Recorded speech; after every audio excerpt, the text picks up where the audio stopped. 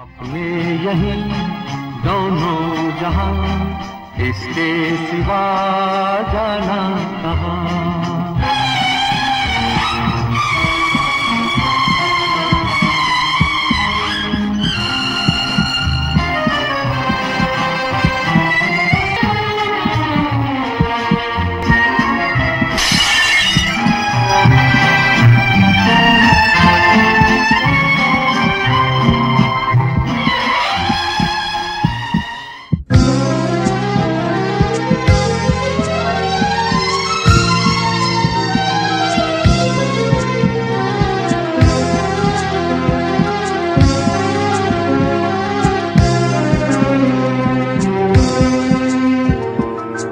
மறைந்த முதலமைச்சர் செல்வி ஜெயலலிதா அவங்க மரணத்தில் பல மர்மம் இருக்கிறதாக சந்தேகம் இருக்கிறதால தமிழக சுகாதாரத்துறை செயலாளர் திரு ராதாகிருஷ்ணன் அவங்க ஆறு மூணு பதினேழு டெல்லியில் ஒரு பத்திரிகையாளர் சந்திப்பை ஏற்பாடு பண்ணார் அவர். அதில் அவர் அப்பல்லோ மற்றும் எய்ம்ஸ் மருத்துவர்களுடைய மருத்துவ அறிக்கையை அவர் பகிர்ந்துக்கிட்டார் அவர். இந்த மருத்துவ அறிக்கையில் இதுக்கு முன்பு வந்து மருத்துவ அறிக்கையில் விட பல புது விஷயங்கள் வந்து வெளிவந்திருக்கு. ஏறக்குறைய ஒரு இருபது புதிய வியாதிகள் வந்துன்னா இந்த புது அறிக்கையில் வந்து வெளிவந்திருக்கு. உதாரணம் சொல்லணும்னா அவங்களுக்கு தைராய்டு செயல்பாடு வந்துன்னா குறைவாக இருந்திருக்கு. இரிட்டபிள் பவுல் சிண்ட்ரோம்னு சொல்லுவாங்க. அது சிடு சிடு குடல் உபாதைன்னு சொல்லுவாங்க. அது இருந்திருக்கு. தோல் உவாமை நோய் இருந்திருக்கு. அதனால் அவங்க வந்து வாய் வழியாக ஸ்டிராய்டு மாத்திரையை அவங்க சாப்பிட்டுட்டு வந்திருக்காங்க அவங்க. சர்க்கரை அளவு வந்துன்னா அன்கண்ட்ரோல்டாக இருந்திருக்கு. அதுக்காண்டி இருபது வருடங்கள் வந்துன்னா அவங்க வந்து மாத்திரையை சாப்பிட்டுட்டு வந்துட்டு இருக்காங்க மேலும் இருதயத்தில் வந்துன்னா செயல்பாடு வந்து குறைவாக இருந்திருக்கு. அது heart failure but with preserved systolic function அந்த மாதிரி இருந்திருக்கு அவங்களுக்கு. இருதயத்திலேயே பார்த்திங்கன்னா மைட்டல் வால்னு இருக்கும். அதில் வந்து சிறு ஓட்டை விழுந்திருக்கு. மேலும் வந்துன்னா கிருமி தொற்று மைட்டல் வால்வில் ஏற்பட்டிருக்கு. அப்படிங்கிற சமாச்சாரம் மென்ஷன் பண்ணப்பட்டிருக்கு. மாதிரி அவங்களுக்கு வந்து பலதரப்பட்ட புது வியாதிகள் வந்து இந்த புது அறிக்கையில் வெளிவந்திருக்கு. பிரச்சனை என்னென்னா ஏற்கனவே ஆறு ரெண்டு பதினேழில் வந்து அப்பயே ஒரு பத்திரிகையாளர் சந்திப்பு தமிழக அரசு ஏற்படுத்தினது. அதில் இதெல்லாம் சொல்லப்படலை. ஏன்? அப்போ இதுவரைக்கும் ஏன் சொல்லப்படலை அப்படிங்கிற கேள்வி தான் அங்கே தொக்கி நிற்குது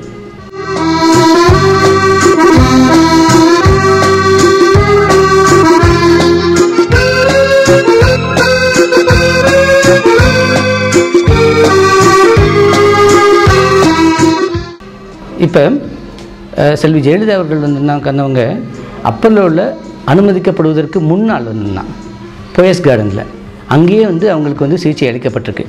இந்த செய்தியும் வந்து அறிக்கையில் பதிவாயிருக்கு. ஏறக்குறைய ஒரு வாரமாக அவங்க வந்து காய்ச்சலாலும் அந்த சிறுநீர் தொற்று அந்த வியாதியால் அவங்க அவதிப்பட்டிருக்காங்க. பிரச்சனைனா இப்போ அதுக்கு வந்து இவங்க ஒரு முதலமைச்சர் அவங்க. அப்போ இவங்களுக்கு வந்து ஒரு சிகிச்சைக்காண்டி ஒரு ப்ரோட்டோக்கால் இருக்கும். அது என்னென்ன செய்யணும்னு இருக்கும் அது. அப்போ அதெல்லாம் முறையாக வந்தன்னா செய்யப்பட்டதா அப்படிங்கிற ஒரு கேள்வி எழுது. இன்னொன்று இவங்களுக்கு வந்து சேர்க்கும்போது அப்பளோட சேர்க்கும்போது ரத்தத்தில் இருக்கக்கூடிய சர்க்கரை அளவு வந்து ஐநூற்று அறுபது மில்லிகிராம் இருக்குது அப்போ என்ன மாதிரியான சிகிச்சை வந்ததுன்னா அதுக்கு முன்னாடி போயஸ் கொடுக்கப்பட்டிருக்கு. அவங்களால ஏன் வந்து சர்க்கரை நோயை வந்ததுன்னா கட்டுப்படுத்த முடியலை? ஏன் வந்து சிறுநீர் தொற்றுக்காண்டி கிருமி அந்த கிருமி கொல்லி மருந்து கொடுத்தும் கூட முழுமையாக கட்டுப்படுத்த முடியலை? அப்போ அதில் ஏதாச்சும் பிரச்சனை இருக்கா? ஒருவேளை இது வந்து முறையாக கையாளப்பட்டிருந்தனா அவங்களுக்கு பிரச்சனையே வராமல் தடுத்திருக்கலாமா அப்படிங்கிற ஒரு முக்கிய கேள்வி எழுது மேலும் பார்த்தீங்கன்னா அவங்கள வந்து அந்த அனுமதிக்கும் போது அப்பல்லோவில் அவங்கள ஆக்சிஜன் அளவு வந்து நாற்பத்தெட்டு சதவீதம் தான் இருக்குது இப்போ அதுக்கப்புறம் அவங்க வந்து ஆம்புலன்ஸில் வந்து அந்த ஆக்சிஜன் கொடுத்த பிறகு தான் அது வந்து தொண்ணூத்தெட்டு சதவீதமாக கூடுது. இப்போ ஒரு ஆக்சிஜன் அளக்கக்கூடிய கருவி கூட போயஸ் கார்டனில் இல்லையா?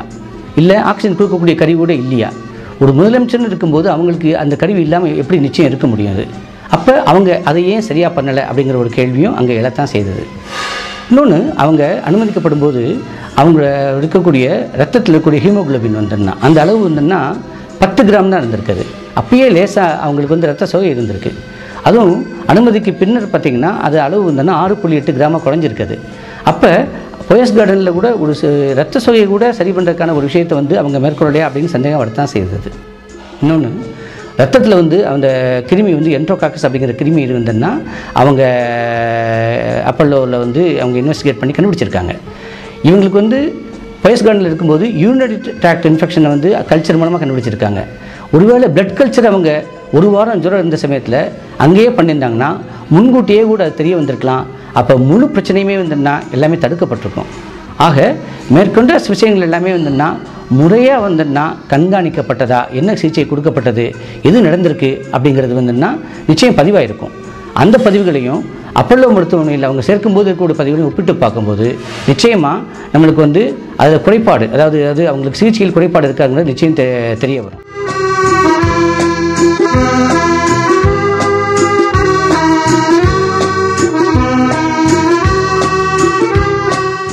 ஆறு ரெண்டு பதினேழு.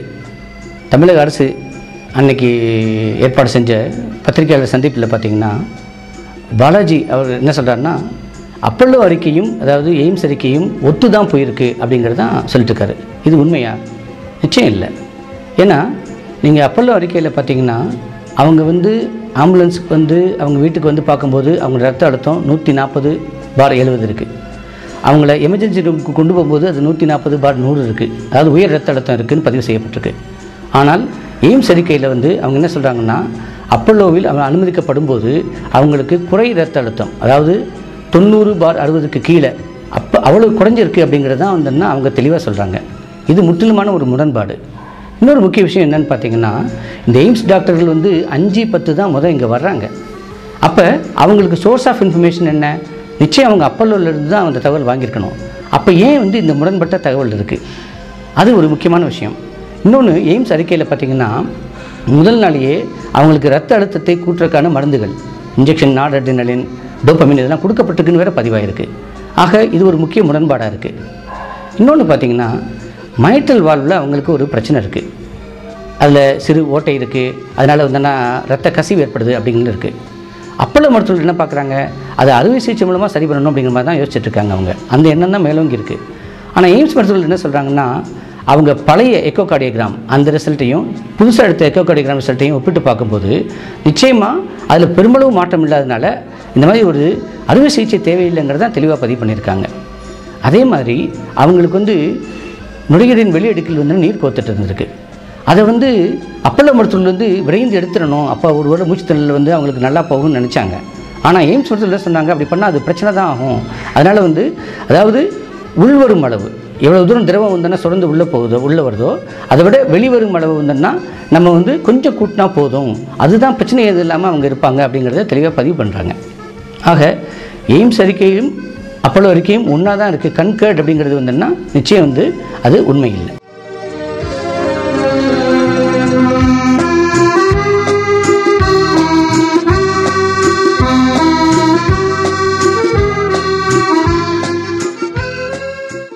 அப்பல்லோ அறிக்கையிலே கூட முரண்பாடுகள் இருக்குது முதல் பக்கத்தில் வந்து அவங்க வந்து ஃபஸ்ட் டிகிரி ஏவி பிளாக் இருக்குது அப்படிங்கிறது தான் சொல்கிறாங்க ஆனால் நாலாம் பக்கத்தில் அவங்களே என்ன எழுதுறாங்கன்னா செகண்ட் டிகிரி ஏவி பிளாக் இது முதல் டிகிரியை விட கொஞ்சம் சீரியஸான கொஞ்சம் முத்துன வியாதி அது. அந்த இதுக்கு போயிருக்கு அப்படின்னு அவங்களே சொல்கிறாங்க அவங்க. மேலும் பல கேள்விகளுக்கு விடை இல்லாமல் தான் இருக்குது இப்போ உதாரணத்துக்கு பார்த்தீங்கன்னா சக்கரை வியாதிக்கு அவங்க இருபது வருஷமாக மருந்து சாப்பிட்டுட்டு இருக்காங்க அப்படிங்கிறது சொல்லப்படுதே ஒழிய ஆனால் என்ன மருந்து சாப்பிட்டாங்க அப்படின்னு முக்கிய விஷயமே பதிவாகலை. ஆனால் ரத்த கொதிப்பில் இருந்தால் ரிவர்ஸில் பதிவாயிருக்கு. எப்படின்னா அதாவது என்ன மருந்து சாப்பிட்றாங்கன்னு பதிவாயிருக்கு. பீட்டா பிளாக்கர்ஸ் அப்படிங்கிறது பதிவாயிருக்கு. ஆனால் எவ்வளோ வருஷம் சாப்பிட்றாங்க அப்படிங்கிறது பதிவாகலை. குறிப்பாக அதாவது முதலமைச்சராக இருந்த பன்னீர்செல்வம் அவர் அணியில் இருக்கக்கூடிய பிஹெச் பாண்டியன் அவர்கள் அவங்க ஒரு ஒரு குற்றச்சாட்டை வைக்கிறார் அவர். என்ன வைக்கிறாருன்னா முதலமைச்சர் அவர்களுக்கு ஒரு தவறான சிகிச்சை வந்ததுன்னா சர்க்கரை வியாதியை பொறுத்தளவு கொடுக்கப்பட்டிருக்கு. ஏன்னா அவருக்கு கொடுக்க கொடுத்த மருந்து வந்ததுன்னா அதாவது பக்கவாதத்தை ஏற்படுத்தும் அப்படின்னு ஏற்கனவே அவருக்கு சிகிச்சை கொடுத்த மருத்துவர் சாந்தாராம் அப்படிங்கிறத அவர் சொன்னார் அவர். அதனால் மே மாதத்துலேருந்து அவரை வந்து புயஸ் கார்டனில் வந்து சிகிச்சை அளிக்க அனுமதி மறுக்கப்பட்டது அப்படின்னு செய்தி வந்திருக்கு. பிரச்சனை அது இல்லை. ஆனால் என்ன மருந்து கொடுக்கப்பட்டிருக்கு அப்படிங்கிறது வந்துன்னா தெரியப்படுத்தினா மட்டும்தான் வந்துன்னா உண்மை வெளிச்சத்துக்கு வரும் அது. குறிப்பாக இந்த சர்க்கரை வியாதியில் வந்து இன்சுலின் சென்சிடைசர்ஸ்னு சொல்லுவாங்க. பயோகிளட்டசோன் ரோசிகிளட்டசோன் அப்படின்னு சொல்லுவாங்க. இவை ரெண்டுமே பக்கவாதத்தை ஏற்படுத்தக்கூடிய வாய்ப்பு அதில் இருக்குது இன்னொன்று வந்து அந்த இதய துடிப்பை வந்துன்னா அந்த ரிதம் இருக்குது பார்த்தீங்களா அதை மாற்றக்கூடிய தன்மையும் அந்த மருந்துகளில் இருக்குது குடி அப்போ அப்படி இருக்கும்போது நிச்சயமாக வந்துன்னா முதலமைச்சர் அவருக்கு கார்டியாக கரஸ் வந்திருக்கு. அப்போ அதுவுமே ஒரு காரணமாக இருக்குமா அப்படிங்கிற ஒரு கேள்வி எழத்தான் செய்தது. அப்போ அவனுக்கு என்ன சர்க்கரை வியாதிக்காண்டி மருந்து கொடுக்கப்பட்டிருக்கு என்ன அவங்க சாப்பிட்டுட்டு வந்தார் அப்படிங்கிற செய்தி அது முக்கியத்துவம் வாய்ந்ததாக அமையுது அது அதே மாதிரி இன்னொரு விஷயம் பார்த்திங்கன்னா இருபத்தி நாலாம் தேதி இருபத்தி நாலு ஒம்பது அன்று முதலமைச்சர் அவங்க வந்தோன்னா அரசு அதிகாரிகள் ப்ளஸ் உறவினர்கள் அவங்ககிட்ட வந்து உறவாட முடிந்தது இடைப்பட முடிந்தது இன்ட்ராக்ட் பண்ண முடிஞ்சது அப்படின்னு செய்தி இருக்குது ஆனால் அந்த மருத்துவ அறிக்கைப்படி பார்த்திங்கன்னா அப்பல்லோ மருத்துவ அறிக்கையும் சரி தான் எய்ம்ஸ் மருத்துவ அறிக்கையிலையும் பார்த்தோன்னா என்ன ஒரு குறிப்பு குறிப்பு இருக்குன்னா அந்த சமயத்தில் அவங்களுக்கு வந்து ரத்த அழுத்தம் வந்து ரொம்ப குறைவாக இருந்திருக்கு. அதனால அவங்களுக்கு இன்ஜெக்ஷன் நான் டோப்பமின் அப்படிங்கிற மருந்து வந்துன்னா கொடுக்கப்பட்டிருக்கு அப்படிங்கிற செய்தி பதிவாயிருக்கு. மேலும் அவங்களுக்கு பார்த்தீங்கன்னா அதாவது நுரையீரலினுடைய வெளிப்பகுதியில் வந்துன்னா அங்கே ப்ளூரல் எஃபியூஷன் நீர் கோத்துட்டு இருந்திருக்கு அப்படின்னு இருக்குது இன்னொன்று அவங்களுக்கு வந்து அதாவது மூச்சு திணறல் வந்துன்னா இருபத்தி நாலாம் தேதி பெருமளவு குறையலை டெக்கிப்னியா அதாவது மூச்சிறைப்பு அப்படிங்கிறது கொஞ்சம் குறைஞ்சிருக்கு. ஆக்சிஜன் தேவை குறைஞ்சிருக்கு அப்படின்னு இருந்தாலுமே கூட ஒட்டுமொத்தமாக மூச்சு வாங்குதல் ப்ரீத்திங் டிஃபிகல்ட்டி குறையவே இல்லைன்னு இருக்குது அப்படி இருக்கும்போது நிச்சயமாக அவங்க அன்னைக்கு வழக்கமான உணவு சாப்பிட்டாங்கன்னு ரிப்போர்ட்டில் இருக்குது அது இருக்கிறதுக்கான வாய்ப்பு மிக குறைவு. அவங்க அரசு அலுவலர்கள் ப்ளஸ் உறவினர்கிட்ட இன்ட்ராக்ட் பண்ணாங்க அப்படின்னு இருக்குது அதுக்கான வாய்ப்புமே மிக குறைவு அப்படின்னு தான் சொல்ல வேண்டியிருக்கு.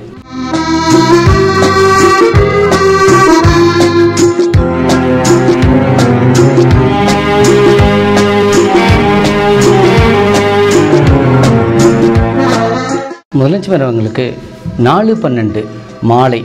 ஒரு நாலு இருபது போல் அவங்களுக்கு வந்து திடீர்னு அதாவது sudden unexpected witnessed cardiac arrest வந்தது அப்படிங்கிற மாதிரி தான் எல்லா அறிக்கையும் சொல்லிட்டு பழைய அறிக்கையெல்லாம் சொல்லுது. ஆனால் விஷயம் பார்த்தீங்கன்னா என்ன நடந்திருக்கு? முக்கியமான விஷயம் என்னென்னா கார்டியாக் அரெஸ்ட்டுக்கு என்ன காரணமாக இருந்திருக்கலாம் அப்படிங்கிறது முக்கிய கேள்வியாக இருக்குது. ஏன்னா அவங்க வந்து தீவிர கண்காணிப்பில் இருந்திருக்காங்க மருத்துவமனையில் தான் இருந்திருக்காங்க அவங்க. அவங்க வந்து ஹெல்த் வந்துன்னா இம்ப்ரூவ் ஆகிட்டுருக்கு அப்படிங்கிறது தான் பழைய மருத்துவ அறிக்கையில் சொல்லிட்டு வந்திருக்கு அப்படி இருக்கும்போது திடீர்னு அவங்களுக்கு கார்டியாக் கடஸ் வருது நாங்கள் கண்டுபிடிச்ச விஷயம் என்னென்னா அதுக்கான கார்டியாக் கடஸ்க்கான காரணம் வந்து உயர் பொட்டாசிய அளவு அது இருக்கிறதுக்கான வாய்ப்பு ரொம்ப அதிகமாகவே இருக்குது அப்படின்னு தான் சொல்ல வேண்டியிருக்கு. ஏன்னா மூணாந்தேதி அதாவது இந்த கார்டியாக் அரெஸ்ட் வர்றதுக்கு முந்தின நாள் வந்து காலையிலேயே வந்துன்னா பொட்டாசியத்தின் அளவு வந்து பார்த்திங்கன்னா உச்சத்தை எட்டியிருக்கு. அது அஞ்சு புள்ளி அஞ்சு மில்லி ஈக்குவலன்ஸ் பெர் டிஎல் அப்படின்னு போயிருக்கு. அவனுடைய வழக்கமான அளவு மூணு புள்ளி அஞ்சு டு அஞ்சு புள்ளி அஞ்சு. இது அஞ்சு புள்ளி அஞ்சு உச்சத்தை எட்டியிருக்கு. அதுக்கான சிகிச்சை கொடுத்து இவங்க வந்து மறுநாள் காலையில் அதாவது நாலாம் தேதி காலையில் அதை குறைச்சிருக்காங்க அவங்க. இதில் இந்த ஆறு ரெண்டு பதினேழு அன்று நடந்த பத்திரிகையாளர் சந்திப்பில் ஒரு பெண் நிருபர் வந்து ஒரு முக்கியமான கேள்வி கேட்டாங்க. அவங்க கார்டியாக் அரெஸ்ட்டுக்கு இந்த உயிர் பொட்டாசிய அளவு ஒரு காரணமாக அதை நீங்கள் அளந்து பார்த்தீங்களா? அப்படிங்கிற கேள்விக்கு மருத்துவர் பாபு அப்ரஹாம் என்ன பதில் சொன்னார்னா இல்லை நான் அன்றைக்கி காலையில் நாங்கள் கலந்து பார்த்தோம். அது வழக்கமாக தான் இருந்தது அப்படின்னு மட்டும் பதில் சொல்லிட்டாரு. ஆனால் இது மறைக்கப்பட்டிருக்கு என்னென்னா முந்தின நாள் வந்தன்னா அது வந்து உச்சத்தை எட்டியிருக்கு அப்படிங்கிறது முக்கியமான விஷயம் மறைக்கப்பட்டிருக்கு. மேலும் அதற்கு இவங்களுக்கு வந்து கார்டியாக் அரெஸ்ட் வந்த உடனடியாகவே வந்துன்னா வீனஸ் பிளட் கேஸ் ரத்தத்தில் இருக்கக்கூடிய அந்த பொட்டாசியம் அளவை வந்து அவங்க அளந்து பார்த்துருக்காங்க. அது வந்து ஆறு புள்ளி ரெண்டு பில்லி குலன் பர் டிஎலாக இருந்திருக்கு. ஆக அது நிச்சயமாக வந்துன்னா இந்த கார்டியாக் அரெஸ்ட் ஏற்படுறதுக்கு காரணமாக இருந்திருக்க முடியும். ஏன்னா எல்லா மருத்துவ ஆய்வுகளும் என்ன தெளிவாக சொல்லுதுன்னா ஆறு மில்லி குலன்ட்டுக்கு கூட போனாலே கார்டியாக் அரெஸ்ட் வருவதற்கான வாய்ப்பு நிச்சயம் இருக்குதுன்னு தான் தெளிவாக சொல்லுது இன்னொன்று பார்த்தீங்கன்னா இது ஏதோ இப் அந்த நாலாம் தேதி நாலு பன்னெண்டு நாலு இருபதுக்கு தான் இது வந்து முதல் நடந்ததா? இல்லை. ஏற்கனவே பார்த்தீங்கன்னா அறிக்கையில் அந்த இருதய துடிப்பு இருக்குது பார்த்தீங்களா ரிதம்னு சொல்கிறது அதில் வந்து மாற்றங்கள் நிகழ்ந்திருக்கு.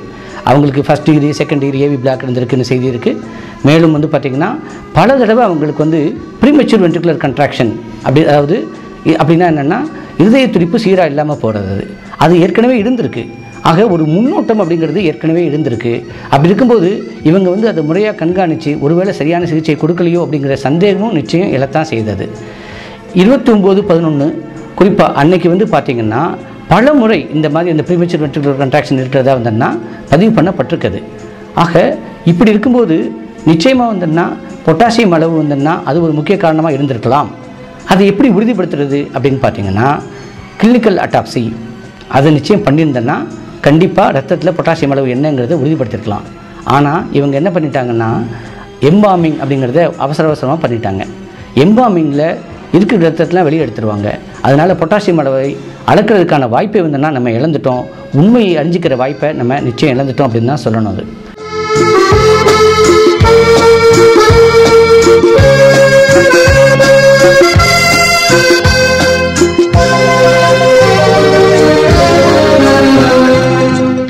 இன்னொன்று இந்த எம்பாமிங்கே தேவைதானா? ஏன்னா முதலமைச்சர் அவங்க இறந்து ஒரு பத்தொம்போது மணி நேரம் கழித்து அவங்க மறுநாள் புதைக்கப்படுறாங்க அவங்க. அப்போ அந்த மாதிரி இருக்கும்போது அதுவும் அவங்க வச்சிருந்தது பார்த்திங்கன்னா ஒரு ஸ்பெஷல் ஃப்ரீசர் பாக்ஸ் டபுள் கம்ப்ரஸரில் ஸ்பெஷல் ஃப்ரீசர் பாக்ஸ் அதில் வந்து உடலை வந்து அதிக நேரம் கூடுதல் நாள் வந்து பாதுகாக்க முடியும். அப்படி இருக்கும்போது இந்த ஒரு பத்தொம்பது மணிக்காண்டி அதுக்காண்டி அவங்க இந்த மாதிரி எம்பாமிங் பண்ண வேண்டிய தேவை எங்கேருந்து வந்தது? நிச்சயம் அது தேவையில்லை அப்படின்னு தான் சொல்ல வேண்டியிருக்கு. அப்போ எம்பாமிங் பண்ணப்பட்டதே கூட பொட்டாசியம் அளவை வந்துன்னா அதை வந்து அதை அளக்கிறத வந்துன்னா உட்காந்து தடுக்கணுங்கிறதுக்கான ஒரு முயற்சி அப்படிங்கிற கேள்வி எழத்தான் செய்தது.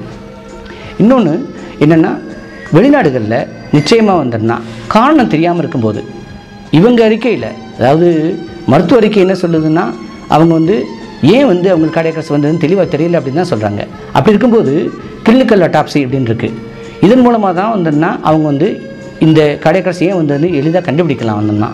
இது வெளிநாடுகளில் பரவலாக பண்ணிட்டு தான் இருக்காங்க.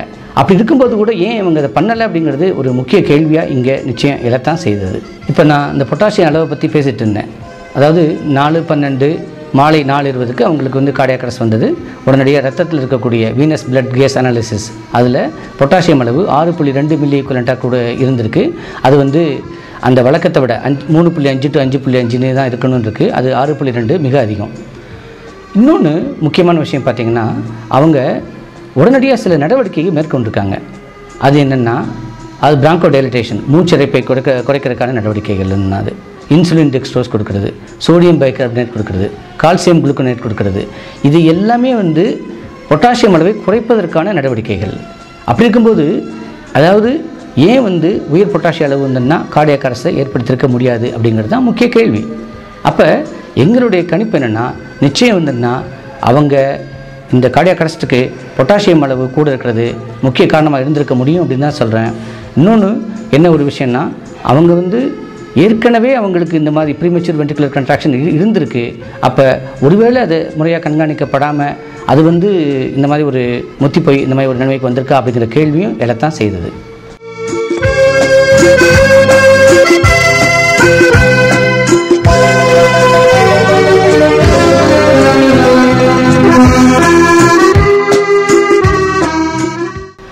முக்கிய விஷயம் பார்த்திங்கன்னா மூணு பன்னெண்டு அதாவது அவங்க இற இறப்பதற்கு அந்த இரண்டு நாள் முன்னாடி நாலாந்தேதி அவங்களுக்கு வந்து நாலு பன்னெண்டுக்கு அவங்களுக்கு வந்து கடைக்காசு வருது. மூணு பன்னெண்டு பார்த்திங்கன்னா அவங்களுக்கு ஒரு முக்கிய பிரச்சனை ஏற்பட்டிருக்குது. அன்னைக்கு பார்த்திங்கன்னா அவங்களுக்கு வந்து புதுசாக ஒரு நிமோனியா ஜுரம் அவங்கள தாக்கியிருக்குது. அவங்க என்ன காரணம்னு கண்டுபிடிக்கும் போது அது தான் பாசிட்டிவ் காக்காஸ்னு கண்டுபிடிச்சிருக்காங்க. அதுக்கு லினோசோலேட் அப்படிங்கிற ஒரு மருந்தையும் கொடுத்துருக்காங்க. இன்னொன்று அன்னைக்கு அவங்களுக்கு மூச்சுத்திணறல் வந்து அதிகமாக இருக்குது அடுத்து அவங்களுக்கு வந்து ஆக்சிஜனுடைய தேவை வந்துன்னா ஒன்று புள்ளி ரெண்டு லிட்டர் பெர் மினிட் இருந்தது. ரெண்டு மடங்கு அதிகரித்து ரெண்டு டு நாலு லிட்டர் வரைக்கும் கூடியிருக்குது. அன்னைக்கு காலையில் தான் அவங்களுக்கு பொட்டாசியம் அளவு கூட அஞ்சு புள்ளி அஞ்சு வந்துன்னா அதாவது நார்மலின் உச்சத்தை எட்டி எட்டியிருக்கு. இப்படி இருக்கும்போது இன்னொரு முக்கிய கேள்வி என்ன எழுதுனா அவங்கள ஏன் வந்து அப்போ ஹை டிபெண்டன்சி வார்டில் வச்சுருக்கணும்? ஏன் வந்து அவங்கள இன்டென்சிவ் கேர் யூனிட்டுக்கு உடனடியாக அவங்க வந்து மாட்டலை அதுவும் ஒரு முக்கிய கேள்வியாக தான் எழுதுது. ஆக இந்த கேள்விக்கும் வந்து என்ன உட்காந்து அவங்க இதுக்கு முறையான பதில் சொல்லலை.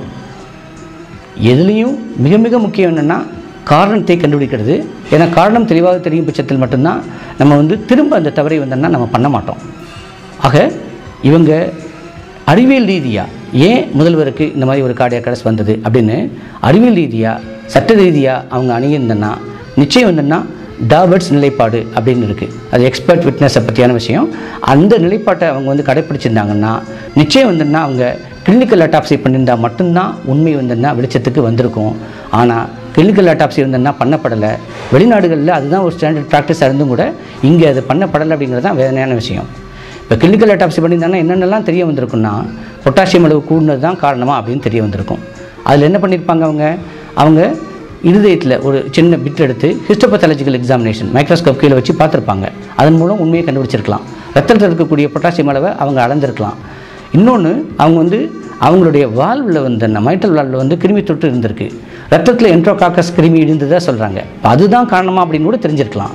ஆக நிச்சயமாக வந்து இதை வந்து டாபர்ஸ் கிரிட்டீரியா மூலமாக நம்ம வந்து இதை அணுகியிருந்தோன்னா நம்ம வந்து கிளினிக்கல் அட்டாப்சி பண்ணுறது மட்டும்தான் ஒரே தீர்வாக இருந்திருக்கும் அப்படின்னு இரு இருக்கிற நிலையில் அது பண்ணப்படாமல் தவிர்க்கிறது இன்னும் கேள்விகளை தான் அதிகப்படுத்துதே ஒழிய மர்மங்களை அதிகப்படுத்துதே ஒழிய அதாவது பிரச்சனைக்கு தீர்வாது அமைஞ்ச பாடில்லை.